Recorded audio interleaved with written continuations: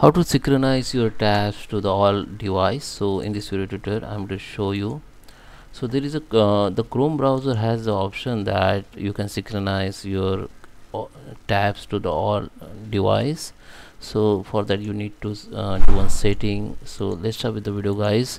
I'm going to show in this video tutorial how we can do this. So let's start with the video. Before we start i request you to like this video hit the like button subscribe my channel. And don't forget comments below. So let me open the chrome browser so here you need to first uh, log in with your google account. Just three dot here just click on uh, login. Here just add your account here like this. Now you will see the option like this on your chrome tab. Now what you need to do just click on this option and go to the turn on synchronize. Just turn on it. And yes i am in. Just click on i am in. Then your okay now your uh, synchronize is on.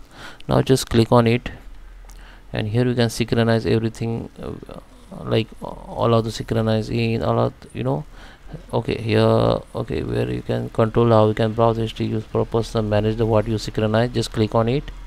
And here you can see synchronize everything by default but you can customize synchronize like bookmark extension history and all. Okay open tabs just just enable it or you can use synchronize everything now when you open any other device just uh, in with your same account uh, just uh, on the synchronize. Now what you need to do just click on three dot option go to the history here again history and here you can see the option called tabs from other device. So here you can see the all tabs from other device uh, which you have synchronized. Okay.